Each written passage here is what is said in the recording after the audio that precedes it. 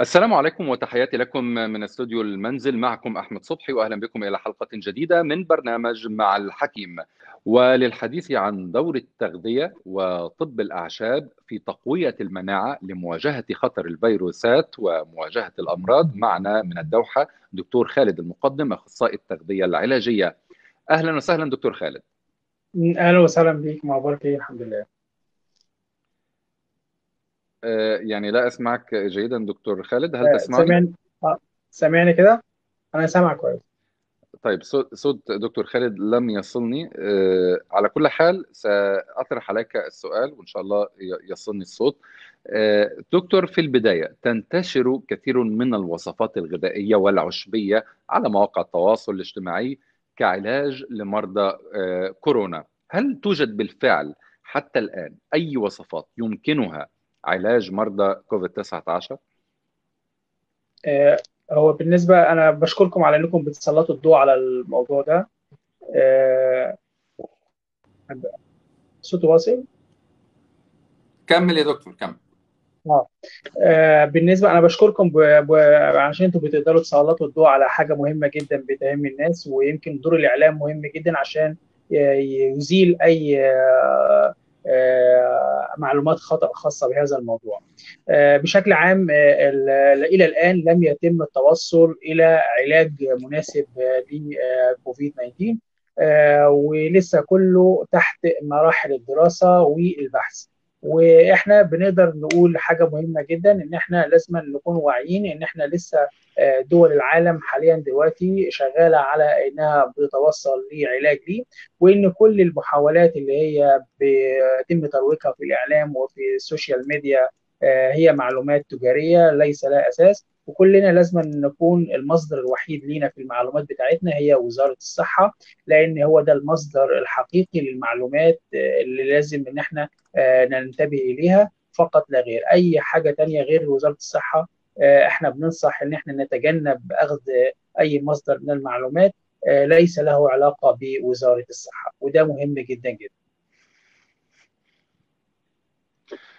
نعم طيب دكتور ما هو الرأي العلمي في استخدام الطب الشعبي وطب الأعشاب في تقوية المناعة؟ هو بالنسبة للطب الشعبي أو الطب البديل هو معروف من زمان وهو بيستخدم خلاصات النباتات وخلاصات الأعشاب في من خلال إجراء زيادة في معدل المضادات الأكسدة والفيتامين وال minerals والأملاح المعدنية والفيتامينات اللي هي بتساعد على زيادة تقوية جهاز المناعة وبتكون منها حاجات anti bacterial و anti و anti virus مضادة للفيروسات ومضادة للبكتيريا. ولكن لما نيجي نتكلم بشكل عام الحاجات دي ممتازة ولها فوائد طبقا لشروط معينة هنقولها دلوقتي. آه لكن إحنا لازم نكون منتبهين تماما تماما إن العش... إن الأعشاب لم يتم تجربتها إلى الآن على كوفيد 19 فلكن تم تجربتها على الفيروسات بشكل عام آه بس على كوفيد 19 لم يتم إلى الآن. يعني إحنا دلوقتي حتى كنا في الدراسات بتاعتنا وفي الجامعات والبحث البحث العلمي دلوقتي الفيروس ده جديد بخصائصه بسلوكه. يعني الفيروسات القديمة بتاعت الإنفلونزا كانت بتتأثر بال عن طريق فيتامين سي وما إلى ذلك وعن طريق درجة الحرارة، الفيروس ده لا يتأثر بالحرارة. الفيروس ده ليه خصائص مختلفة عن الفيروسات الثانية، فبالتالي ما نقدرش نعمم الأبحاث القديمة اللي هي اتعملت على الفيروسات القديمة بنفس الموضوع. زي مثلا في عشبة اسمها الإشنيسيا، الإشنيسيا دي مقوي لجهاز المناعة ولها تأثير ممتاز جدا على على الفيروسات وعلى البرد. دي تم اختبارها علميا. وموجودة منها شركات أدوية بتصنعها وتم عمل اختبارات سريرية عليها بشكل ممتاز وأثبتت نجاحها بشكل فعال جدا اللي هي عشبة الإشناسيا وموجودة في الصيدليات ممكن أي حد ياخدها ودي لكن ما نقدرش نقول إن هذه العشبة هي مضادة لكورونا ما نقدرش نقول كده. لكن هي كورونا ده جديد والدراسات اللي لسه تحت الدراسة ولا تحت تحت البحث ما نقدرش نعمم عليه. فبالتالي إحنا كل الأبحاث اللي اتعملت على الطب الشعبي أو اللي اتعملت على بعض أنواع النباتات والحاجات ديت ما نقدرش إن إحنا نعممها في الوقت الحالي على كوفيد 19 هي لها خصائص ممتازة أوكي لكن يجب إن إحنا نكون حذرين في التعميم بس. طيب آه، على ذكر آه، دكتور آه، الأعشاب التي ذكرتها ومنها زهرة الإشناسيا كما ذكرت تقول أنها مهمة للفيروسات وللمناعة ولكن لم يثبت علاقتها بالكوفيد 19 على ذكر ذلك توجد كثير من الأعشاب وكثير من الوصفات المنتشرة التي يعني يربطها البعض بالوقاية وتقوية المناعة ضد كوفيد 19 فدعنا نتحدث مع الجمهور عن هذه الأعشاب بشكل خاص ثم نتحدث بشكل عام عن كيف نقوي جهاز المناعة. ولكن الأسئلة دائما تأتي على أعشاب بعينها وعلى وصفات بعينها. مثلا أنت ذكرت عن الإشناسيا وتقول أنها بالفعل مهمة ولكن دكتور يعني أين توجد؟ هل توصي بأن الناس العادية يمكن أن تتناولها؟ في إطار تقوية المناعة و يعني محاولة الوقاية من الفيروسات بشكل عام دون اعتبار أنها علاج أو وقاية من كوفيد 19 تحديدا وبأي جرعات؟ okay. تمام هو إحنا عشان نكون صريحين في الموضوع دوت كل النباتات الطبية والأعشاب يتم تناولها بشكل صيدلاني يعني بشكل بشكل تصنيع دوائي ففي هذه الحالة بتكون مهم جدا إن إحنا نكون حريصين إن الإشنيسيا بالذات ديت دخلت مرحلة التصنيع والتجربة والاختبارات وهي موجودة فعلا في الصيدليات بشكل ممتاز جدا. فإحنا ممكن نتوجه ناخدها ديت دي ممتازة جدا. لكن نكون حذرين إن إحنا ما ناخدش الأعشاب الطب الأعشاب الطبية أو النباتات الطبية بشكل مفتوح أو بشكل يعني عشوائي. هنديك مثال صغير الدرسين أو أو القرفة اللي هي السينامون. إحنا عندنا يقول لك إيه أنا باخد إيه أنا باخد قرفه أنا باخد سينامون السينامون ده قصة كبيرة جدا. يعني عندك مثلا القلف بتاع الشجرة اللي هو الجذع الشجرة من تحت بيكون فيه درسين خصائصه مختلفة عن عن عن الفروع مختلفة عن أماكن كتيرة جدا. فبالتالي اختلاف ال اختلاف ال ال الشجرة جزء بتاع الشجرة اختلاف المكان اختلاف التربة اختلاف عوامل كتيرة جدا. طب مين اللي يحدد لي إن كانت الحاجة دي مناسبة ولا مش مناسبة اللي يحدد الموضوع ده هو الشركات الأدوية. فهي اللي بتاخد النباتات دي بتعمل عليها اختبارات بتعمل عليها استخلاصات بتعمل عليها تعبئة وبتحدد الدوز اللي هي الجرعة اللي, اللي يجب إن إحنا ناخدها خلال اليوم نفسه. وبالتالي الصح إن إحنا ناخدها من خلال شركات الأدوية عشان خاطر دي بتكون مهمة جدا لأن هو بيحدد الجرعة بناء على دراسات معمولة على على العشب نفسه. فبالتالي يعني يعني لا, لا ما يصير يا دكتور لا لا يصلح أن نذهب إلى العطار ونلتقط بعض الأعشاب ونتناولها بشكل عشوائي. آه هي النقطة إن أنت ممكن في واحد ياخد مثلا أعشاب يجيب نتيجة واحد تاني ياخد أعشاب ما يجيبش نتيجة واحد تاني ياخد أعشاب يجيب مغص أو تقلصات. على حسب النوع على حسب العشب نفسه لأن الأعشاب ديت هديك مثال صغير الكركري مثلا الكركري آه انت ممكن تجيب الكركري الكركري ده ممكن يكون من سنتين عند عند العطار أو متخزن بقاله سنة أو بقاله سنتين. آه ممكن تجيبه لسه فريش لسه بقاله ثلاث شهور أربع شهور. فطبعا هل المادة أو محتواها من العناصر الغذائية هي هتكون متساوية من سنة أو من سنتين؟ طبعا هتفرق. طريقة التخزين طريقة النقل طريقة العرض آه كل دي عوامل كتيرة جدا بتخش وتتداخل مع عرض المادة الغذائية. فبالتالي المفروض إن إحنا بناخد الحاجة دي من مصادر معمول عليها رقابة وتعبئة وخاضعة للإشراف ووزارة الصحة والبلدية وما إلى ذلك. طيب في إطار التوعية كذلك يا دكتور يعني سأطرح عليك العديد من الأعشاب والوصفات الموجودة على مواقع التواصل الاجتماعي وتصلني بشكل شخصي وتصل للبرنامج يسأل عنها دائما منها مثلا عشبة القرد منها صمغ النحل الحلتيت عشبة الإفيدرا العرقسوس. كل هذه الأمور يا دكتور وكل هذه الأعشاب التي لا تستخدم يعني في بعض الأعشاب تستخدم في الطعام وفي الشراب بشكل طبيعي ولكن هذه لا تستخدم أو غير متداولة بشكل كبير. أي منها مفيد بالفعل وكيف يمكن استخدامه أوكي. السؤال ده جميل جدا. بس أنا هسلط الضوء على حاجة أنت أنت سلطت الضوء عليها اللي هو الدواء بتاع بتاع اللي هو تم إعلانه اللي هو هو أنا مدغشقر كنت. يعني كنت عايز نتحدث عنه بشكل آه. خاص يعني بعد آه هو أنا أنا جالي على آه، أنا جالي على الصفحة بتاعتي آه، فيسبوك آه، من أخصائيين تغذية في مدغشقر. آه، آه، نماذج للأدوية والمعلبات والأزايز اللي هي متعلب فيها الدواء بتاعهم. فأنا رديت عليهم رد بسيط جدا قلت لهم إن إن نبتة الشيح فيها مستخلصات آه، غذائية بتتأثر بالضوء. فيجب إنها لما أنتوا لو أنتوا عملتوا تعليب ليه أو عملتوا عصارة أو مستخلص الشيح لازم يتحط في إزازة تكون داكنة. يعني لازم تكون الإزازة ملونة. لأن الإزازة الشفافة بتعكس الضوء وبتعمل حاجة اسمها اوكسيديشن للمواد اللي هي موجودة من مستخلصات الشيع فده طبعا يعتبر آه، يعني أنا شايف إن هم كانوا مستعجلين بسرعة فهم عملوا تصنيع سريع. فبصراحة آه، آه، من أهم من أهم التعليقات اللي في الموضوع بتاع التعبئة بتاعتهم إنهم بيستخدموا زجاجات شفافة اللون بتاع. الزجاجات ديت بتعكس الضوء وبتعمل أكسدة للمكونات بتاعة الشيء ودي مهمة جدا. ومكونات والمكونات هي الأرتميسيا أو الشيح يا دكتور.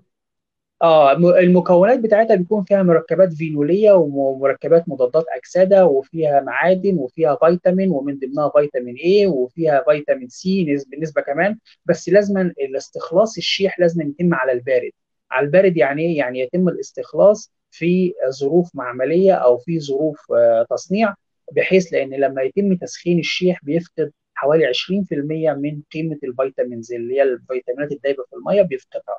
ثانيا ال- العشب الشيح نفسه ليه مراحل معينة من النمو. يعني مثلا في الشيح في الشيح اللي هو آه، ال- ال- اللي هو الناشف اللي هو ال- الأبيض ده وفي الشيح الثاني اللي هو فيه الزهرة البابونينج ماشي؟ وفي الشيح الثاني يعني في مراحل وفي أجزاء من النبات. فطبعا الشيح كل ما كان إحنا إزاي نختبر الشيح؟ بتمسك ال- الشيح بين صباعينك كده وبتفركه وتشمه. ماشي؟ كل ما كانت الريحة قوية هو نبات من النباتات العطرية. كل ما كان ريحته قوية ما كان كانت نسبة الزيوت الطيارة فيه عالية وبالتالي كانت الجودة بتاعته عالية جدا. فبالتالي هو في كذا نوع من أنواع الشيح وفي كذا آه، طريقة لاستخلاصه عشان خاطر يستخلص بطريقة سليمة زائد إن إحنا دايما دايما بنقول إن عشبة الشيح هي بتتأثر بالضوء فيجب إنها يتم تعبئتها وتغليفها واستخلاصها في مواد ولكن يا دكتور ولكن يا دكتور أريد أن يعني حتى الجمهور الآن ربما آه، يلتبس عليه الأمر ويعتقد أن الشيح مفيد للوقاية أو لزيادة آه، مناعة لا الجسم. طبعا. أريد رد واضح وصريح. هل مكونات آه، دواء مدغشقر تجعله بالفعل دواء مفيد لمرضى كوفيد 19 وهل يمكن تناول الشيح لرفع لأن الشيح أنا أعلم أنه لا يتم تناوله وليس من ضمن. الأعشاب التي تشرب أو تؤكل. أيوه. هو طبعا ال- الرد صريح جدا جدا كان منظ- منظمة الصحة العالمية إنها قالت ان إن إن المستخلص ده لم يتم تجربته سريريا يعني لسه ما اتعملش عليه اختبارات. وقالوا ان وقالوا إن هو من المبكر جدا جدا إن إحنا ممكن نطلق عليه ذلك وبالتالي هو اجتهاد فقط لا غير ولكن لا يثبت ذلك. أنا عايز أقول على حاجة مهمة جدا نبات الشيح هو غلط الناس اللي عندها مشاكل في الكلى غلط إنهم ياخدوا ال- الشيح.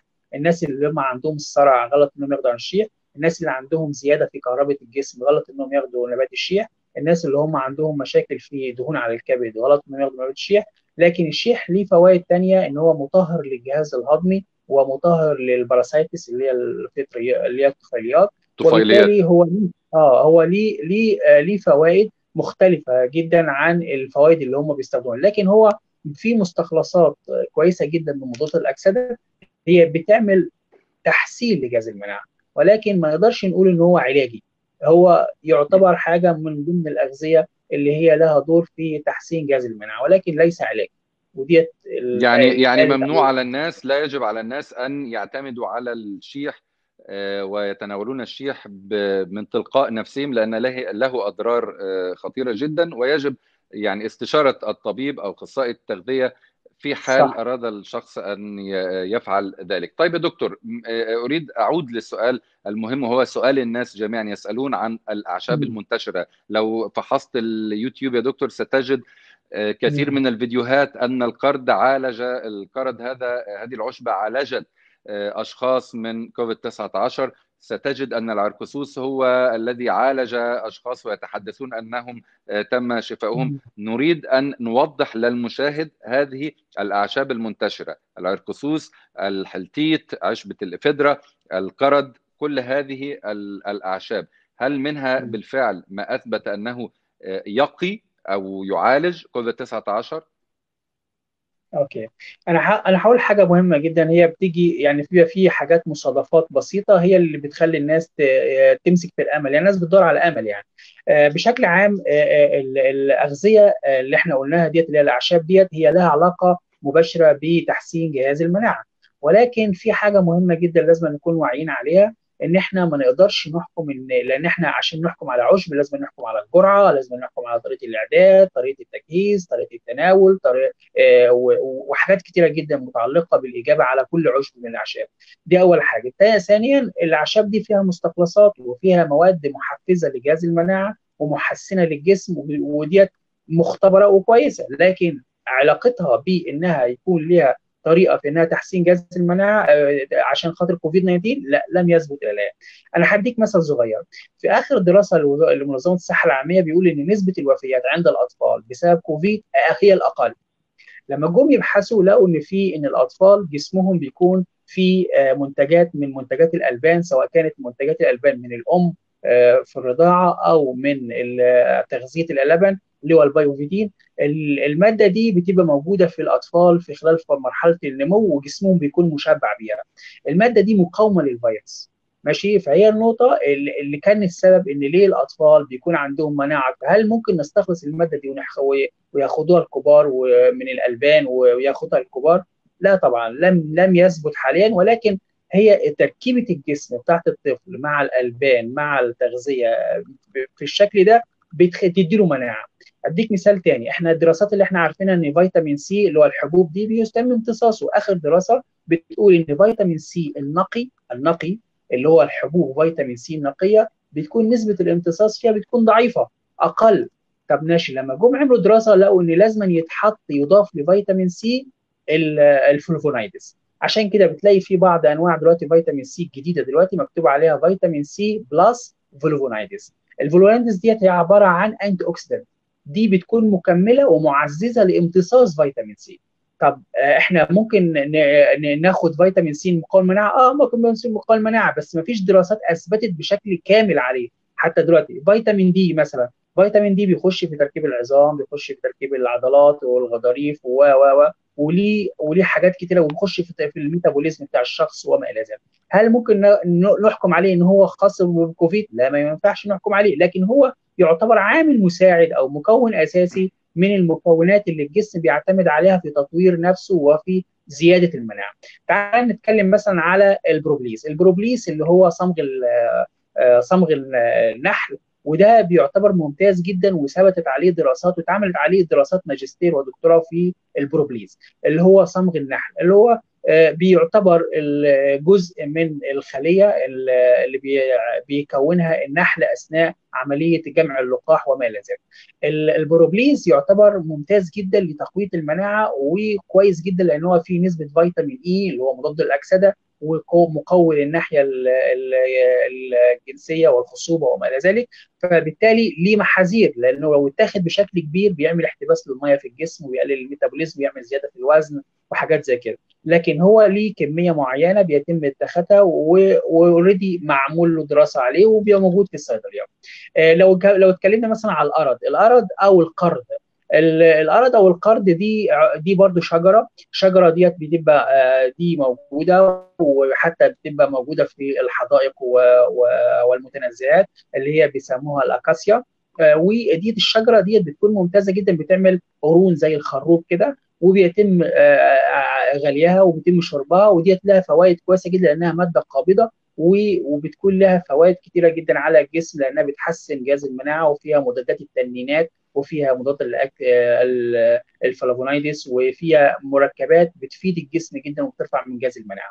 بالنسبة لعشبة ثانية زي عشبة اللي إحنا اتكلمنا عليها ال echinacea دي ممتازة جدا. وفي عشبة ثانية اسمها ال ginkgo biloba، ال ginkgo biloba دي تم دراستها وعمل دراسات عليها وتم تعبئتها وعليها دراسات. وموجودة في الصيدلية اسمها ال ginkgo biloba دي عشبة دي شجرة اسمها ginkgo biloba دي ممتازة جدا عشان خاطر الزهايمر والخرف ومعمول يمكن جمعية الزهايمر عاملين عليها دراسة اللي هي الجينكو بلوبا لها تقوية الذاكرة ولها علاقة كمان بال إنها بتقلل عملية فقد المعلومات القديمة في داخل العقل البشري وكمان بتقلل عملية الهرم من خلايا المخ. ودي لها علاقة ممتازة جدا. ولكن إحنا ما نقدرش نربطها برضو بإنها لها علاقة بالمناعة اللي لها علاقة بكوفيد. ولكن هي تعتبر عشبة ما اتعمل عليها دراسات وما فيش أي مشكلة فيها. لكن في أعشاب لسه ما لسه ما اتعملش عليها دراسات كاملة. زي مثلا اليانسون. اليانسون فيه هرمونات أنوثة. بيرفع هرمونات الأنوثة. وممتاز جدا لأن حتى واحد يقول لك مثلا اشرب كوباية ينسون الصوت عندك هيتحسن. طب هو إيه العلاقة ما بين الصوت واليانسون؟ ان اليانسون فيه استروجين وفيه هرمونات انوثه لما لما أنت تاخدها بتحسن الهرمونات دي عند الأحبال الصوتية فتبدي تخلي صوتك يعتبر أحسن و clear وواضح. ماشي؟ فديت إحنا حاليا دلوقتي بيعملوا عملية استخلاص للهرمونات دي من اليانسون بالمناسبة يا دكتور بالمناسبة يا دكتور هل شرب المشروبات في ال packet أو في الغلاف يعني مضر أو خطر أو أقل فائدة من شرب الأعشاب السائبة؟ آه. السؤال ده بيتسال كتير. okay هو بالنسبة لل packet ال packet معمول عليه اختبارات ما فيش منه أي مشاكل ضارة بالصحه خالص. ولكن لو إحنا حبينا نتكلم على الفايدة اللي هي بتستخلص من الأعشاب نفسها إحنا بنفضل إن إحنا نفك ال packet ونفضي المستخلص بتاعه عشان خاطر نستفيد بقى ليه؟ لأن ال packet ده بيبقى عامل زي فلتر. الفلتر ده بيحجب بعض العناصر الغذائية اللي هي موجودة جوه الأعشاب نفسه. لكن كناحيه إن هو ضار ولا مش ضار بالصحة هو آمن وسيف ومعمول عليه دراسات وموافقات من الأغذية والأدوية الاف دي اي ومفيش ومنتشر عالميا يعني مصرح بيه دوليا يعني. لكن لو اتكلمنا على الفايدة إن هو بيحجز أو بيقلل من انتشار المغذيات اللي هي بتاعت العشب نفسه هو فعلا بيقلل بنسبة من 10 ل 20% بس. طيب دكتور لضيق الوقت سريعا أريد أن أعرف ما هي أهم الأعشاب أهم الفيتامينات التي يمكن أن تساعد الجسم الآن في تقوية مناعته والوقاية ليس من فيروس كورونا ولكن بشكل عام تؤهل الجسم وتقوي مناعته ضد أي فيروسات أو أمراض محتملة. الأعشاب، الفيتامينات، هل هناك جرعات يومية يجب الحرص عليها وهل هذا يناسب جميع الناس أم لا؟ تمام. هو في حاجة جميلة جدا اللي هو الكركم الكركم ده يعتبر حاجة بيسموها بيسموه ذهب ذهب الأعشاب. هو ذهب. ليه؟ لأن هو عبارة عن هو لونه ذهبي فعلا وهو بيعتبر الذهب بتاع الأعشاب. الكركم ده اتعمل عليه دراسة فعلا. ولقوه إن هو انتي بكتيريال وانتي فيروس إن هو مضاد بكتيري ومضاد فيروسي. كانوا كابوا فراخ والفراخ دي تم تقطيعها واتحط عليها وتم اخذ عينة منها وعمل اختبار حاجة اسمها الحمل الميكروبي.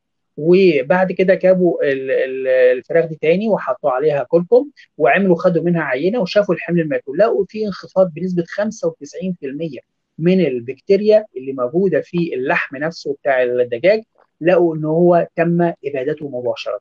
فبالتالي الكركم له علاقة مباشرة جدا جدا بإن هو محسن زائد إن هو فيه مضادات اكسده عالية زائد إن هو فيه فيتامين و minerals عالية. فبالتالي ده يعتبر من أحسن الأعشاب اللي لازم ندخلها عندنا في الأكل بتاعنا. الكركم فيه منه ورق في أخضر. الكركم فيه منه powder. الكركم فيه منه جذور. جذور عاملة زي جذور الزنجبيل. ماشي ده ممكن تقطيعها وتتغلي وتتشرب. ممتاز جدا الكركم دي رقم واحد. رقم اثنين الزنجبيل يعتبر ممتاز جدا لأن هو بيعتبر فيه نسبة عالية من فيتامين سي. آه كمان الليمون فيه برضه نسبة عالية من فيتامين سي. بس إحنا لنا تعليق واحد على طريقة تناول التناول إن إحنا ما نحطهوش يغلي على المية. إحنا نحطه ونحط عليه مية دافية ماشي ونسيبه منقوع. بيبقى ممتاز جدا. كمان الكركديه يعتبر مطهر وكمان يعتبر فيه نسبة عالية من فيتامين سي كمان وكمان في نسبة عالية من مضادات الأكسدة اللي هي بتساعد على تقوية جهاز المناعة.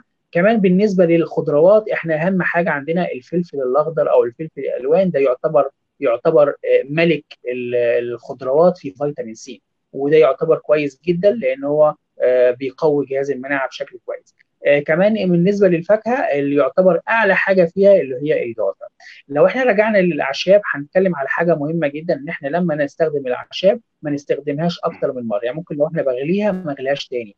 ماشي؟ عشان لو اتغلت تاني تاني مرة بيحصل حاجة اسمها اوكسيديشن أكسدة. فبالتالي العشب لا يسخن مرة ثانية أنت ممكن تسخن العشب ولو برد اشربه. لو عايز تسخنه غلط. هيكون ده بيعتبر إعادة التسخين بالنسبة للأعشاب. ده لا يفضل لأنه بيعمل oxidation وبيغير من الخواص ال phytochemical بتاعتها نفسها.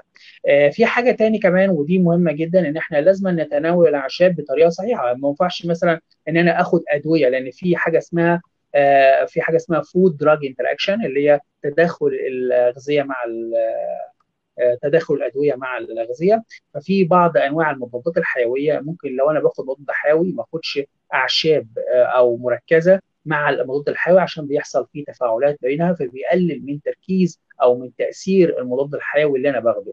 فبالتالي لو أنا مثلا ممكن آخد حاجة مثلا فيها انتي آه انتي بكتيريال مثلا أي حاجة مضادة بكتيرية أو مثلا فلفل أح فلفل الحار أو الفلفل الفلفل الأسمر وباخد مضاد حيوي. ده بيتداخل مع ده لأن هو انتي لأن ده مضاد حيوي فيه انتي وده بيعمل بيبقى فيه تداخل بينهم بعضهم.